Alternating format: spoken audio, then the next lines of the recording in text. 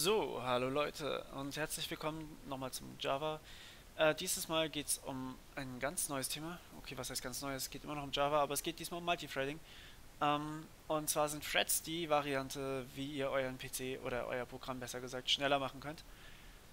Ähm, ja, ein Thread ist quasi ähm, ausführbar auf einen CPU-Kern und momentan können wir nur einen einzigen Thread haben. Das heißt, ihr benutzt quasi meistens, je nachdem welche CPU ihr habt und wie viele Kerne die hat, nur ein Viertel von eurer Leistung, die ihr eigentlich benutzen könntet.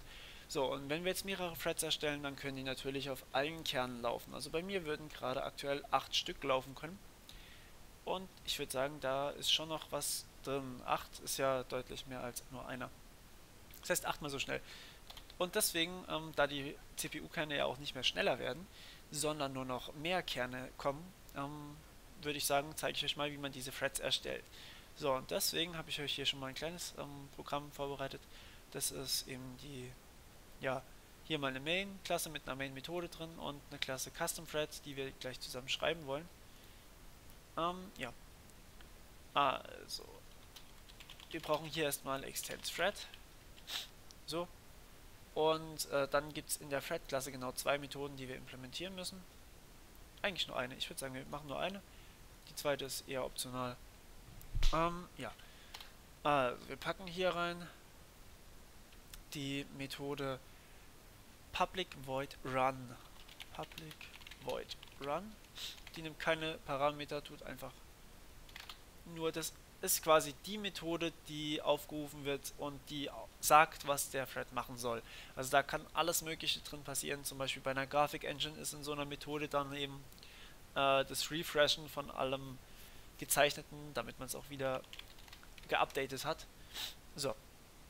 Und jetzt haben wir hier zum Beispiel eine Vorschleife int i gleich 0. Na wobei, warum so kompliziert?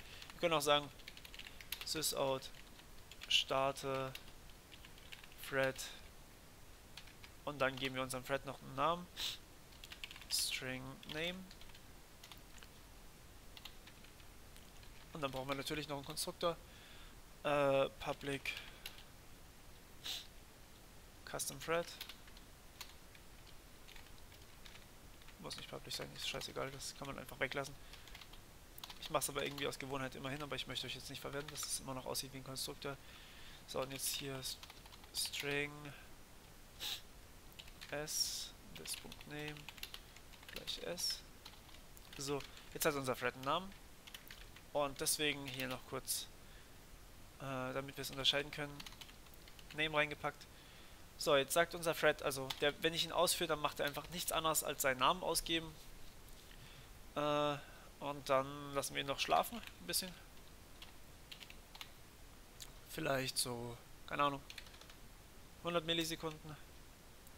Das gibt mir jetzt einen Fehler, weil ich das hier mit Try and Catch surrounden muss.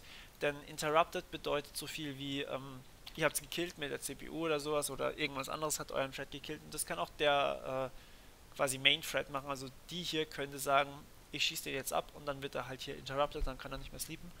Das geht halt nicht. So, sysout. Äh, beende Thread und den Namen. So.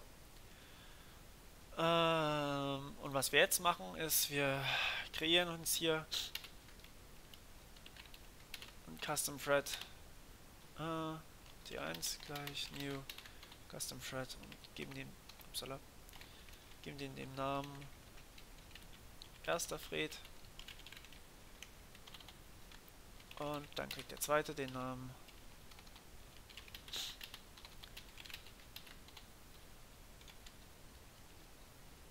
Zweiter Fred. So. Und jetzt müssen wir sie noch starten. Dazu gibt es die schöne Methode Start. Ha, wer hätte gedacht? T2.start. Genau. So. Und jetzt laufen die beide und müssten auch beide was ausgeben. Was passiert, wenn ich das jetzt hier ausführe? So. Ihr seht, das ist jetzt richtig parallel. Also ich starte zuerst meinen ersten Thread und dann meinen zweiten. Und dann beende ich den ersten wieder und dann beende ich den zweiten. Das heißt, die laufen gleichzeitig. Also der eine läuft von mir aus auf meinem zweiten Kern und der andere läuft auf meinem dritten Kern. Und äh, gibt dann eben sein Zeug hier aus. Das heißt, die berechnen quasi einfach, was in der Run-Methode drin steht, äh, sobald sie eben gestartet werden. Ja, Und das ist auch schon das einzige zu Threads, was man wirklich dringend sich merken muss. Nämlich, wenn ich das hier nochmal ausführe, dann muss es keinesfalls in derselben Reihenfolge sein. Ich habe gerade irgendwie Glück oder auch Pech oder was auch immer. Ich kann es auf jeden Fall euch gerade nicht zeigen, da war es gerade, verdammt. Jetzt. So, äh, hier wird nämlich jetzt zuerst der zweite Thread gestartet, weil der hier einfach schneller war in seiner Startmethode. Das heißt, der hat die Run schneller aufgerufen. Und danach erst wird der erste Thread gestartet, der war halt ein bisschen langsamer. Das heißt zum Beispiel hat mein äh, Betriebssystem, also in meinem Fall Windows, schlagt mich dafür, äh, der war dann halt, äh, mein Betriebssystem hat dann halt einfach gesagt, okay, jetzt ist gerade was anderes wichtiger, der erste Thread muss warten. Zum Beispiel mein Aufnahmeprogramm, was hier gerade nebenher läuft. Und deswegen hat der erste Thread kurz länger gebraucht. Aber dafür ist er hier drin deutlich schneller. Das heißt, ihr, ihr seht jetzt hier gerade, hier war er schneller und hat sich selbst zuerst wieder beendet. Und danach erst der zweite Thread. Das heißt, der erste Thread war insgesamt deutlich kürzer am Laufen als der zweite. Und darauf kann man sich wirklich nicht verlassen. Also die sind random, die, äh, die Sachen, also je nachdem wie lange sie halt laufen, passieren halt andere Dinge, die nicht so cool sind. Also wenn ich jetzt hier Variablen benutzen würde und die würde ich verändern, ähm, ja, da auf jeden Fall nicht drauf verlassen. Das heißt, die sollten am besten irgendwelche Arbeit erledigen in der Run-Methode, die völlig unabhängig voneinander ist. Und das ist auch das Schwierigste dabei. So, äh, jetzt habe ich euch gezeigt, wie man Threads schreibt. Und jetzt möchte ich euch gerade noch kurz am Schluss zeigen,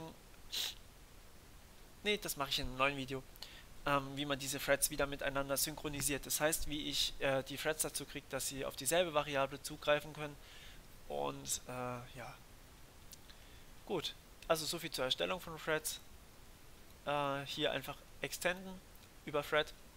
Dann könnt ihr hier Sachen machen, wie zum Beispiel Eigenkonstrukte erstellen. Ist scheißegal. Das ist eine ganz normale Klasse. Und dann einfach die Run-Methode äh, überschreiben und hier dann halt in die Run-Methode reinpacken, was ihr mit eurem Thread machen wollt. Hier kann irgendwas kompliziertes drin stehen, ist völlig egal.